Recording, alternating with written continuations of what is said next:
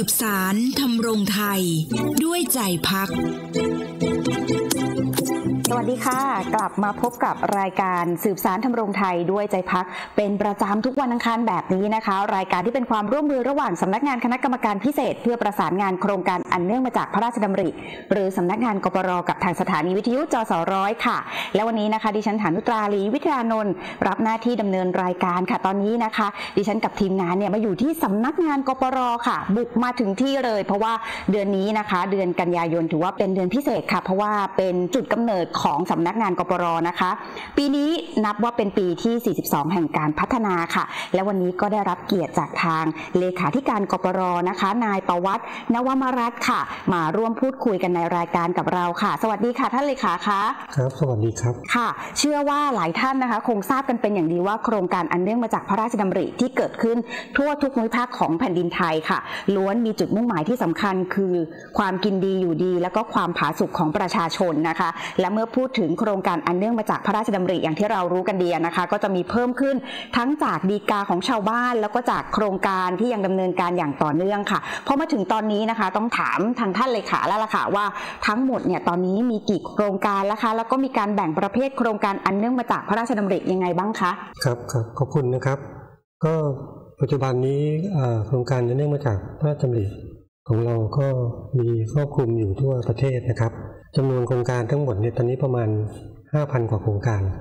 นะค่ะฮะก็จะแบ่งประเภทเป็นเป็นเจ็ดด้านด้วยกันค่ะนะฮะหลักๆเลยก็คือด้านการพัฒนาแหล่งน้ำนะครับด้านการเกษตร ด้านสิ่งแวดล้อม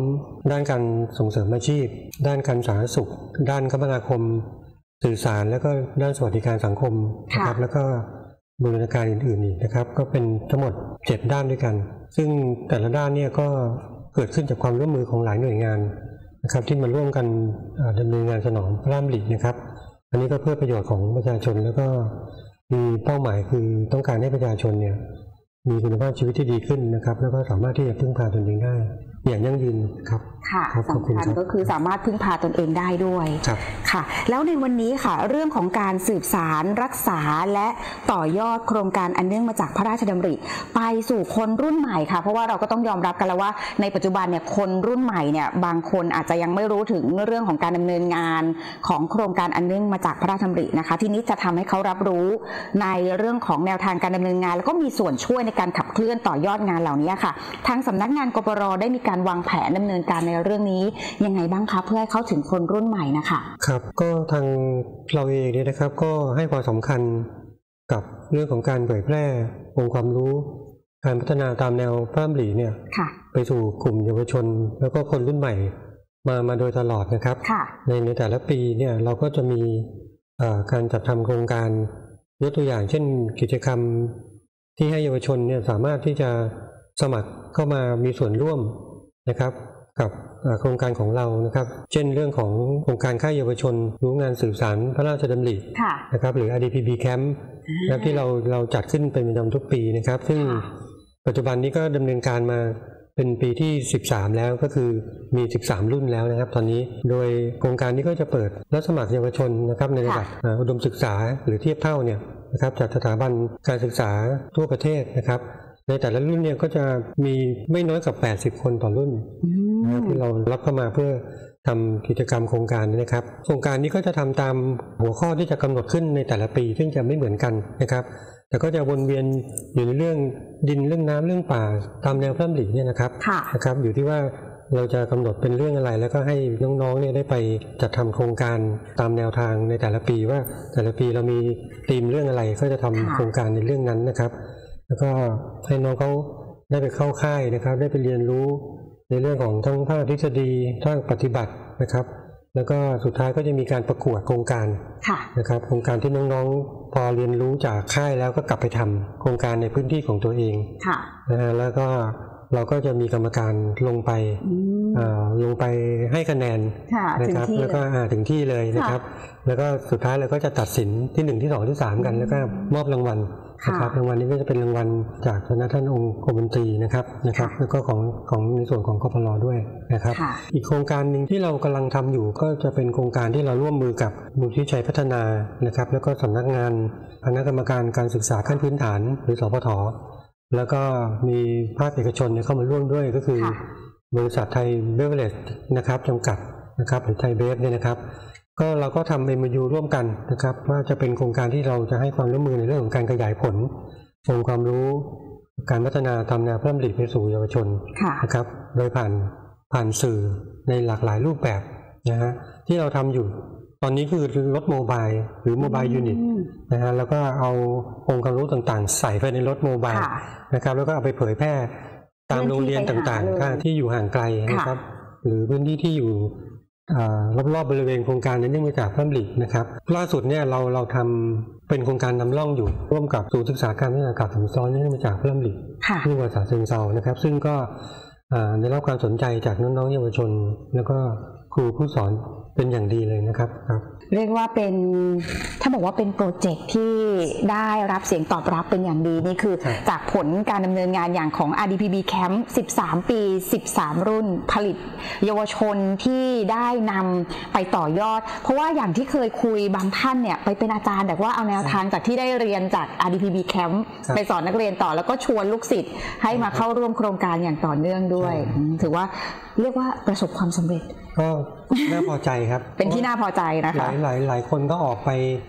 เป็นเกษตรกรตัวอย่างเลยก็อ๋อใช่นะครับใช่หลายท่านะครับเลย ลง YouTube เป็นยูทูบเบอร์เป็นอะไร แล้วก็อืมได้รับความสนใจได้รับการตอบรับจากจากหลาย ๆ ภาคส่วนนะครับ ปัจจุบันเอ่อโลกมันเป็นโลกดิจิตอลเนอะค่ะนะครับ ในการสื่อสารในรูปแบบเดิมๆ อย่างเช่นเรื่องของหนังสือหนังสือพิมพ์ สื่อสิ่งพิมพ์อืมวิทยุโทรทัศน์ต่างๆ นี่มันมันมันค่อยๆบางลงค่อยไปๆค่อยๆค่อยๆค่อยๆค่อยๆหายไปนะครับค่ะแล้วก็คนก็ส่วนใหญ่ก็จะเข้าถึงเรื่องของเรื่องดิจิตอลซะมากกว่าค่ะเด็ก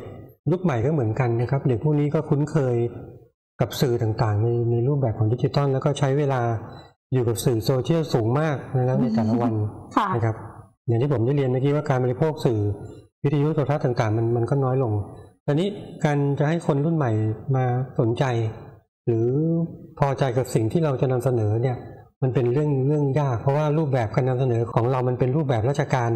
นะฮะค่ะแล้วโครงสร้างพอดีเป็นรูปแบบราชการมันเป็นยังไงนะครับ คือปัจจุบันเนี่ยเขาเขามีทางเลือกมีทางเลือกที่ที่เรียกว่ามันไร้ขีดจำกัดอะนะคือหมายความว่าถ้า 5 วินาทีแรกไม่โดนเนี่ย เขาจะเลื่อนผ่านไปทันทีเลยนะค่ะเราเราเสร็จเลยเราเรียบร้อยแล้วอืมนะครับ แล้วก็จริงๆเขาก็เป็นผู้กำหนดค่ะก็คือคือผู้กำหนดก็เรียกอะไรกำหนดว่าจะชมอะไรหรือไม่ชมอะไรนะครับ จะจะรับอะไรหรือไม่รับอะไรคือโจทย์เนี้ยากยากมากๆนะครับสำหรับสำหรับเรานะครับค่ะแล้วก็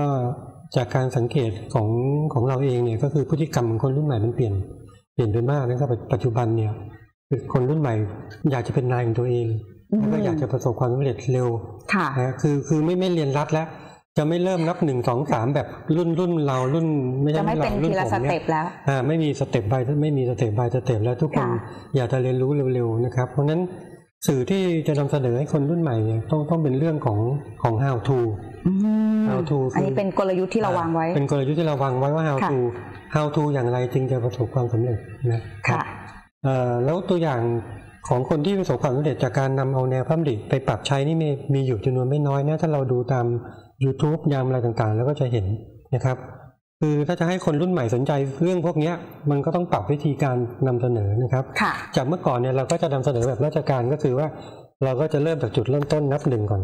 นะครับนับหนึ่งเสร็จเราก็จะบอกเขาว่าตั้งแต่จุดที่แย่ที่สุดของเขาเนี่ยมันเป็นยังไงสาหัสกันแค่ไหนค่ะจนวันหนึ่งเนี่ย เขาเขาค้นพบแล้วก็น้อมนำเอาแนวพระมริไปประกาศใช้จนประสบความสำเร็จ อันนี้คือตอนจบค่ะแต่ปัจจุบันเนี่ยเราเราต้องต้องกลับกันอืมเราต้องเปิดมาแล้วต้องให้เห็นความสำเร็จเลยค่ะนะครับแล้วเราถึงค่อยบอกเขาว่ามัน how to ค่อยทำอย่างไรอ่าอันนี้เราเป็นเป็นกลยุทธ์ที่เรากำลังจะปรับอยู่ แล้วก็การนำเสนอเนี่ยมันจะยืดเยื้อไม่ได้แล้วค่ะมันจะห้านาทีสิบนาทีไม่ได้ มันมันต้องเปิดมาเนี่ยต้องสั้นต้องกระชับค่ะแล้วก็รู้เรื่องภายใน สองถึงสามนาทีอืมสองสามนาทีก็ยังนานไปนะผมยังนานไป คือความท้าทายนี่มันอยู่ตอนห้าถึงสิบวินาทีแรกทำยังไงให้ในอ่าช่วงระยะเวลาสั้ทำนๆไมเนี่ยทำยังไงไม่ให้เขาเข้าเลื่อนถึงผ่านค่ะนะครับ อันนี้ก็ก็เป็นรูปแบบที่เราก็คิดอยู่แล้วก็คิดว่าเราต้องต้องนำเสนอในสิ่งเหล่านี้ แล้วก็เอ่อรูปแบบเป็นทางการนี่อย่างที่เรียนแล้วก็ต้องเลิกนะครับค่ะก็การเล่าเรื่องต้องต้องรัดกลุ่มต้องสนุกค่ะต้องต้องเปิดโลก ต้องเปิดมุมมองให้เขานะครับ ตื่นตาตื่นใจ สนองความอยากรู้อยากเห็นอืมนะครับ แล้วก็ต้องมีตัวช่วย ตัวช่วยค่ะคือพวกดนตรี พวกเซเลบต่างอืมๆดารงดารา เป็นองค์ประกอบเนื้หาให้มันตลกขบขันค่ะอะไรประมาณอย่างเงี้ยนะครับอันนี้ก็จะเป็นโจทย์ที่ที่ยากแล้วก็เราเองภาคราชการก็ต้องพยายามปรับตัวนะครับ อันนี้ก็ก็คือวิธีการที่เราอยากกำลังจะทำอยู่แล้วก็ค่ะคิดว่า ทางเราก็ก็ก็จะต้องทำให้สำเร็จนะครับค่ะครับครับอ่าอันนี้ก็เป็นอีกหนึ่งกลยุทธ์ที่ทางสำนักงานกปรจะมีวิธีการปรับเปลี่ยนให้เข้ากับโลกยุคใหม่ยุคยุคดิจิทัลนะคะ แต่ทีนี้พอพูดถึงสิ่งเหล่านี้มาทั้งหมดแล้วสำหรับในเรื่องของการดำเนินงานในฐานะหน่วยงานกลางในการประสานควบคุมกำกับดูแล แล้วก็ติดตามผลการดำเนินงานของโครงการอันเนื่องมาจากพระราชดำริ ณ วันนี้ค่ะเข้าสู่ปีที่ 42 แล้วนะคะ ทางสำนักงานกปรได้วางแนวทางในการดำเนินงานต่อไปในภายภาคหน้ายังไงบ้างคะครับจากปฐมบรมราชโองการของรัชกาลที่สิบคือสืบสานรักษาต่อยอดอันนี้ค่ะเราเราคงทราบกันดีอยู่แล้วนะครับ อันนั้นนั่นคือทิศทางการทำงานของสำนักงานกพลมต่อไปในอนาคตนะครับค่ะการต่อยอดตามพระราชบัญญัติฐานของพระองค์ท่านเนี่ย โดยเฉพาะโครงการที่มีอายุมากๆนะครับหลายๆปีเนี่ยการพัฒนาต่อยอดไปสู่เป้าหมายที่ที่เรากำหนดไว้เนี่ยก็คือความเป็นอยู่ของประชาชนที่ดีขึ้น ทีนี้พูดถึงการต่อยอดเนี่ยมันก็ต้องทำความเข้าใจก่อนว่า ต่อยอดคืออะไร ต่อยอดก็คือการขยาย ขยายผลจากสิ่งที่ในหลวงรัชกาลที่ 9 ท่านทำเอาไว้ค่ะนะครับโครงการต่างๆทำเพื่อเกิดความยั่งยืนต่อไปนะครับ ให้ประชาชนได้ประโยชน์ทีนี้ถามว่าสิ่งที่ในหลวงรัชกาลที่ 9ทำไว้เนี่ยคือคืออะไรบ้าง ก็คือ 5,000 กว่าโครงการที่ผมได้พูดไปแล้วเมื่อกี้ค่ะนะครับ ซึ่งเอ่อใน 5,000 กว่าโครงการเนี่ยมันก็ปรากฏเป็นเรื่องของแหล่งน้ำสักประมาณ 70%ถึง 80%นะครับ ก็คือประมาณ3 3 4พันโครงการทีนี้เราก็มาคิดต่อว่า ถ้าเราจะนำร่องในการต่อยอดขยายผลจากโครงการพัฒนาแหล่งน้ำก่อนเป็นระดับแรกเนี่ย เราก็ต้องต้องมานั่งวางแผนกันว่าเราจะทำอะไรกันบ้างนะครับ ผมว่าเรื่องของการต่อยอดการพัฒนาแหล่งน้ำนี่มันเห็นผลชัดเจนค่ะนะครับ ตั้งแต่ต้นน้ำกลางน้ำปลายน้ำเลย ก็หมายความว่า ถ้าเราเปรียบโครงการพัฒนาแหล่งน้ำเนี่ยเป็นเป็นพื้นที่กลางน้ำนะครับ ต้นน้ำนี่ก็คือพื้นที่ป่า ป่าที่ที่ที่เป็นต้นทุนน้ำให้กับพวกอ่างเก็บน้ำแล้วก็เขื่อนต่างๆ เมื่อเมื่อกลางน้ำมีปริมาณน้ำที่สมบูรณ์เนี่ยเนื่องจากป่าข้างบนมันสมบูรณ์ เราก็มาคิดต่อว่าไอ้แล้วปลายน้ำคือพื้นที่รับประโยชน์เนี่ย เราเราควรจะพัฒนาอะไร จากต้นทุนน้ำที่มีอยู่นะครับ ตั้งแต่เรื่องของอะไร เรื่องของการเกษตร การพัฒนาอาชีพ การพัฒนาชุมชนพวกโอท็อปเรื่องการตลาด การพัฒนาพลังงานทดแทนต่างๆ มากมายเลยครับในลักษณะของภูมิสังคมนะครับอันนี้อันนี้คือภารกิจของเราค่ะอย่าลืมว่าเรามีเรามีองค์ความรู้ของในหลวงรัชกาลที่เก้าเอ่อรออยู่ที่ปลายน้ำเต็มไปหมดเลยนะไม่ว่าจะเป็นเรื่องของดินเรื่องทฤษฎีใหม่ เรื่องเศรษฐกิจพอเพียง เรื่องการพัฒนาอาชีพต่างๆ เรามีศูนย์ศึกษาการพัฒนาเนื่องมาจากพระดำริทั้งหมด6ศูนย์และศูนย์สาขาอีกร้อยเป็นร้อยๆแห่งเนี่ยค่ะพวกนี้เป็นองค์ความรู้ที่เกิดจากการศึกษาทดลองวิจัยที่สำเร็จแล้ว รอเราอยู่ เราต้องเอาสิ่งเหล่านี้ไปพัฒนานะครับให้เป็นประโยชน์นะครับเพื่อที่จะพัฒนาพื้นที่ปลายน้ำเนี่ยให้เกิดความยั่งยืน อันนี้คือคือแนวคิดที่เราทำอยู่นะครับมันก็จะเป็นการตอบสนองเรื่องของการสืบสานรักษาต่อยอดอืมตามพระราชปณิธานของในหลวงรัชกาลที่สิบต่อไปนะครับค่ะครับ อะอันนี้ก็เราก็เห็นภาพรวมของการดำเนินงานนะคะ ของทางสำนักงานกปรแล้ว พวกเราทุกคนก็สามารถช่วยนะคะ ที่จะให้โครงการอันเนื่องมาจากพระราชดำริเนี่ยเดินหน้าต่อไปได้นะคะ สืบสารรักษาต่อยอด โครงการอันเนื่องมาจากพระราชดำริทั้ง 5,000 กว่าโครงการนี้ไว้ด้วยกันนะคะ วันนี้ต้องขอบคุณทางท่านเลขาธิการกปรค่ะ นายประวัตินวมารัตน์เป็นอย่างสูงนะคะ ที่มาร่วมพูดคุยกันในรายการขอบพระคุณค่ะครับใครที่ต้องการติดตามฟังรายการย้อนหลังตอนนี้ก็สามารถติดตามได้จากทางเว็บไซต์ของ JS ร้อยนะคะ ทาง YouTube JS ร้อย Radio และทางเว็บไซต์ของสำนักงานกปรค่ะ www.rdpb.go.th นะคะ ติดตามรายการสืบสารทำรงไทยด้วยใจพักได้ใหม่ครั้งหน้าเวลาเดียวกันนี้สำหรับวันนี้สวัสดีค่ะสำนักงานกปรร่วมสืบสารงานพระราชดำริ